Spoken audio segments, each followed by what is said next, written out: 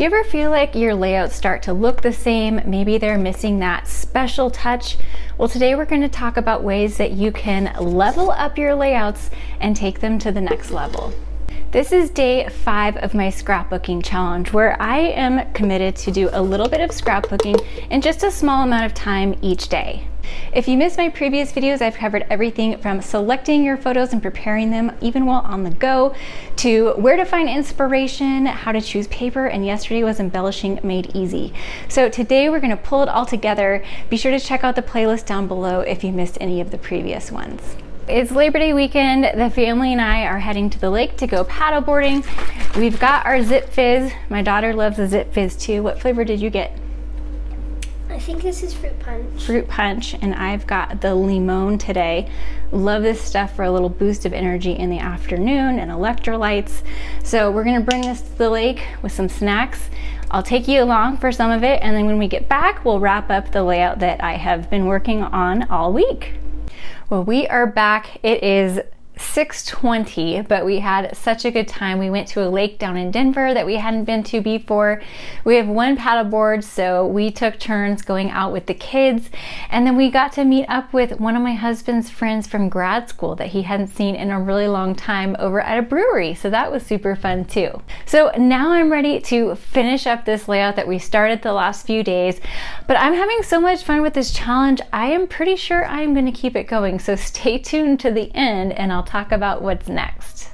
Here is approximately where we left off yesterday. I think I might have rearranged a couple little things, but for the most part, this is where we left off. And it is a great layout. It could be left just as is, but we are going to step it up to the next level. One thing I want to point out about stepping things up to the next level is you can always do that, but it depends on how much time, energy, effort you want to put into the project. So you can leave it as is, you could leave it simpler than this, but I just wanted to show you the progression of a basic layout all the way up to stepping it up. So you can decide how you want to do your next layout.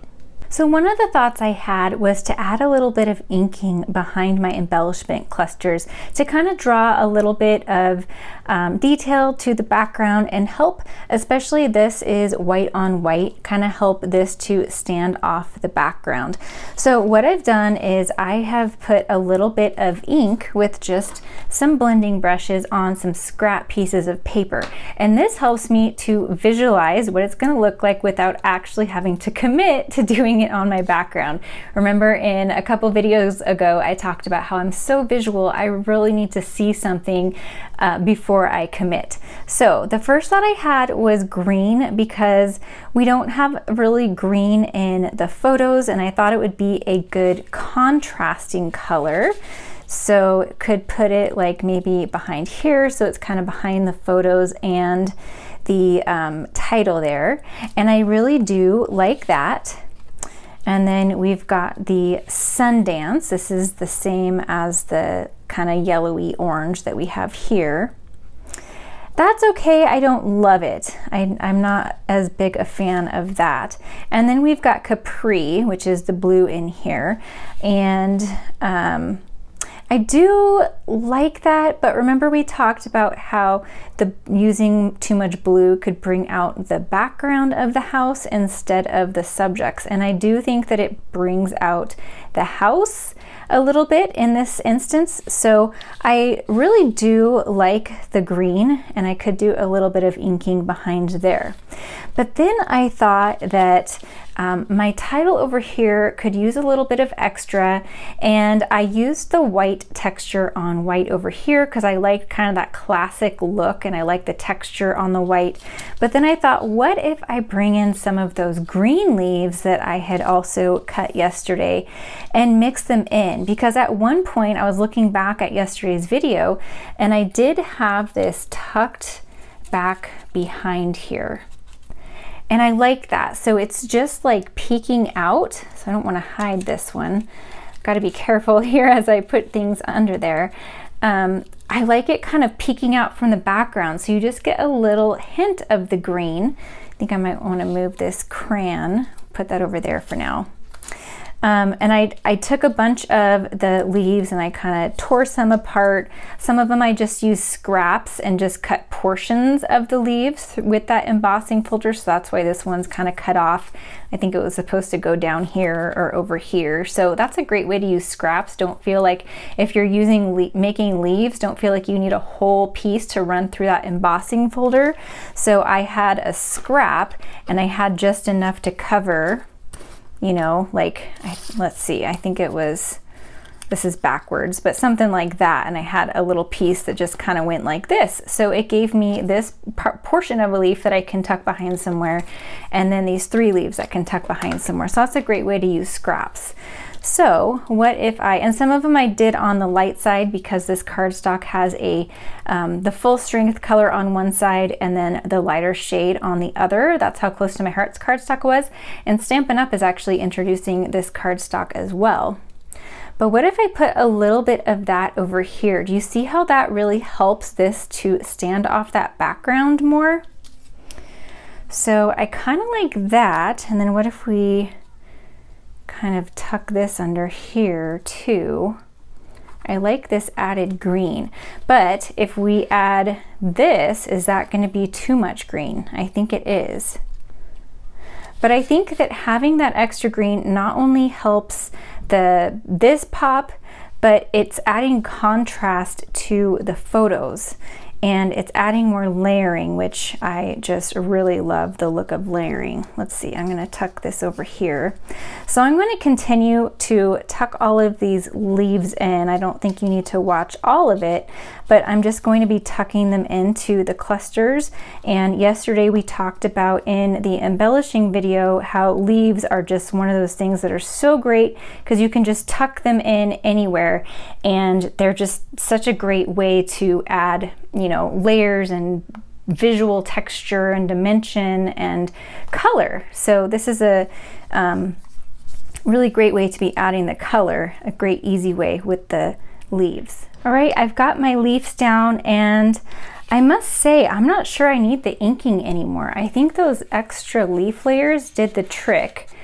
Um, the green is gonna be too much and I think I still don't love the blue. What I might do is add just a little bit of splatter, just in a few little um, white space areas. I know not everybody likes splatter, so you definitely don't need to do this uh, step, but I've got a black shimmer brush here. And I like to put my shimmer brush, or if you're gonna use paint or ink or something like that, on a block to work from. So now what I can do is move this photo So I'll squirt out a little bit of the shimmer brush. You can use acrylic paint that you've watered down a little bit if you don't have this, or if you have a black ink pad, smush the ink pad onto your block or a non-stick surface and pick it up with a paintbrush. You can use watercolor paint. There's lots of different options, but I'm just gonna use this and I want just a little bit not gonna go overboard. I think that's good. And then I'm gonna have to let this dry too. And then over here, I wanted just a little bit of splatter right there. All right, I do like that, but I'm still stuck on the inking idea. By the way, I didn't show you taking the clusters off, um, but what I do is I take a picture so that I remember how it went together. And then this one, the title was still a little sticky, so it pretty much stayed together on its own except for this one. So I started putting this one back together and then realized I forgot to point out that these little sneakers I um, switched out. These I cut from the pattern paper because I felt like the other one was just a little bit too big of a scale. So I like this one better. And then this one brings in a little bit of yellow there too. So I couldn't get past the idea of inking like I mentioned. So I went back to the blue and I thought, what if I just kind of keep it up here? I do like the contrast of the green and the yellow on the blue. Um, and then if I do it up here, I do need to do it a little bit in the other clusters.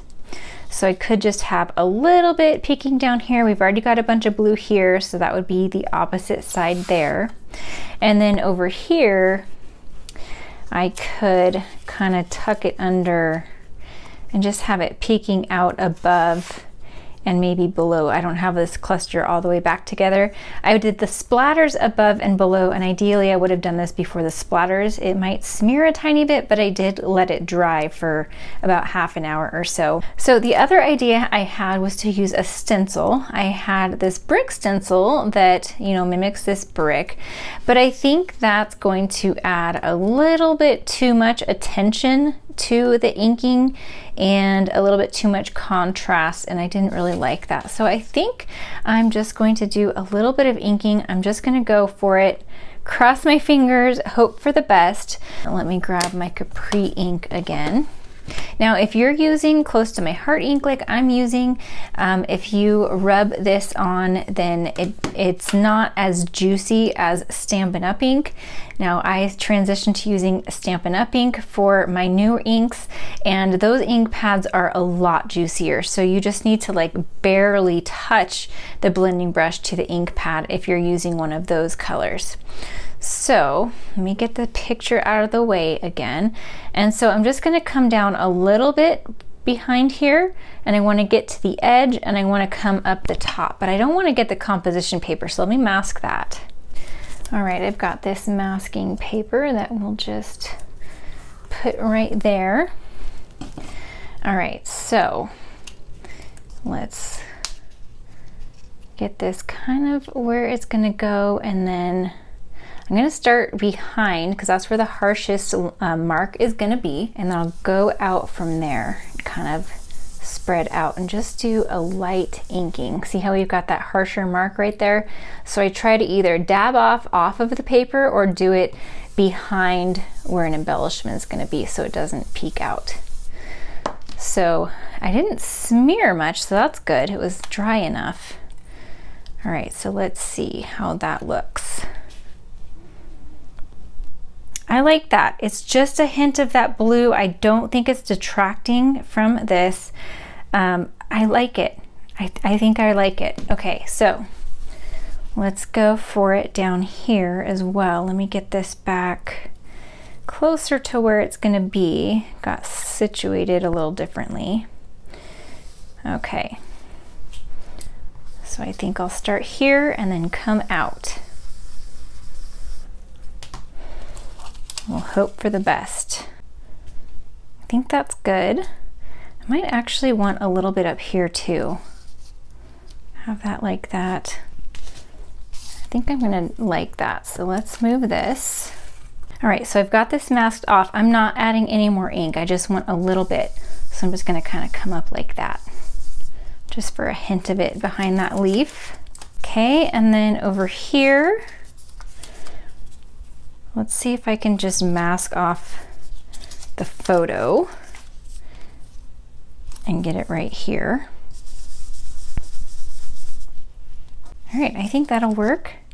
And then I'll do the same thing down here. Now that the inking is done, it's time to put everything back together. So what I do is I usually put my iPad up with the picture that I took and I keep it so that the screen doesn't go to sleep so it just stays on.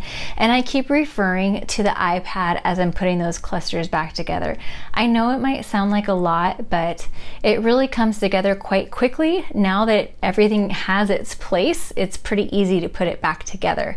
So then I will take my Art glue. I really like the Bearly Art glue because it's got the fine point nozzle and I can easily kind of tuck it under all of the sprigs and pieces to make sure that they are glued in place. And then a lot of times I will take the top layer of a cluster and I'll put a little bit of thin 3D foam on that so that it has just a little bit of dimension. And that's another great way to step up your layouts. Now the final step of the layout is to add embellishments. Now, one thing that I really appreciate about Stampin' Up! is that they have some really fun embellishments. So the question is, do I want to have a color that will stand out or do I want something a little more neutral like gold or something that will kind of blend in but add a little bit of something extra. So I'm leaning toward doing something more neutral. These are one of my favorites. By the way, these are little like uh, Avery vinyl passport holders that I put a 4x6 piece of paper in and then I put my embellishments on the front and back and I'm really liking how this is working and this little container. So I showed this um, in a couple of videos ago, but just in case you missed it. So these are one of my favorites and I love that they've got like gold glitter and little pieces of like holographic tinsel. So those could be a contender. They look good with this kind of looks like picks up the gold. I could do something like the silver glitter or Eh, I don't think I like the metal. We've got these fun iridescent ones. Those iridescent, I'm not feeling iridescent. We've got a different kind of iridescent already going on with that. These are too pastel. Not right. We could go with just plain rhinestones. Those are reading a little bit silver though, and we I feel like this needs gold, so maybe not those actually. We've got some colors. These ones have little pieces of silver tinsel in them. They're super cute. They look so much better in person than they do on the website, so hopefully you can see them through these little sleeves. How cool they are.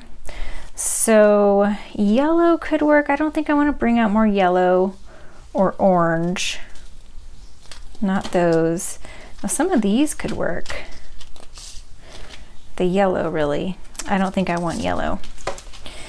We've got blue. These are the wrong color blues. The green could work, but we already have so much green now with all those leaves.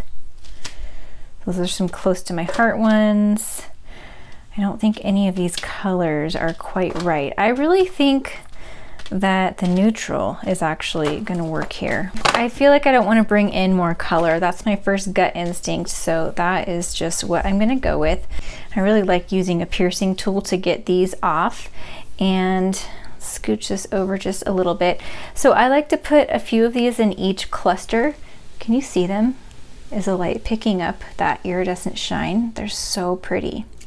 All right, so I'm going to grab a big one and um, I just like to put like three in each cluster. So there's one and I like to tuck them pretty close to the cluster, maybe even overlap. Actually, I think I'm going to switch these. I want this big one down here and then this small one, I kind of like it overlapping like that. So you can overlap too. So we'll put one there. And then I liked that other one overlapping. Let's try that one right here. And then another small one. Actually up in that top cluster, since it's a bigger cluster, I'm gonna go with two big ones. I think I like that there. So I like them kind of tucked close to the clusters because having things tucked close to each other gives your eye, um, lets your eye know that they're related. So if I had um, a one just like way down here, it just kind of, it, it does kind of even this out, but I do like asymmetrical. I like this hanging down. It looks better up here if you're going to put it close you know, put two on this side. Down here, it just feels like it's kind of in no man's land. So it's something th to keep in mind when you're doing this type of embellishing with just the little gems or scatter pieces is tuck them close to each other or close to the cluster so it feels like they relate. So I'm going to tuck another one down here. The other nice thing about using the piercing tool for doing this is see how it's kind of holding it out so your hands out of the way and you can see how it's going to look and kind of audition it in different places. I like this overlapping right there. I think I'm going to use another big one in this cluster because it's another fairly big cluster. I think I like this one right here. So let me bring this up closer so you can appreciate all of the detail that we added I hope that you enjoy this, and I'm going to talk to you in just a moment again about what the next step in this challenge is going to be. So we're done with this layout, but what does that mean for this challenge? I want to keep it going. I'm having so much fun and I'm loving doing just a little bit each day. And I hope that it's inspiring you too and showing you that you can do just a little bit each day so that you're not feeling overwhelmed like you have to do a whole layout or a whole have a whole chunk of time to get some scrapbooking done. So in the next upcoming videos, I've got some ideas. I got a new episode Epson PM400. I know I already had one. I broke it. It's totally my fault, but you know what? That gives me an excuse to do an unboxing with you. So I'm going to unbox that.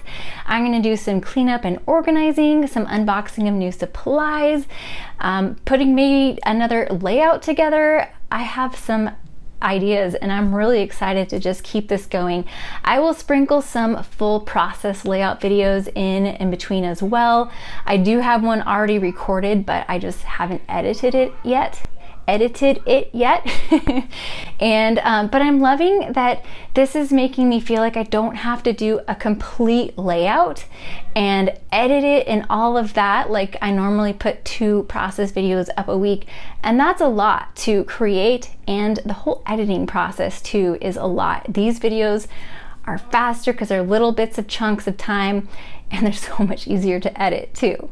So I encourage you to play along with me. Do a little bit each day to feel creatively productive.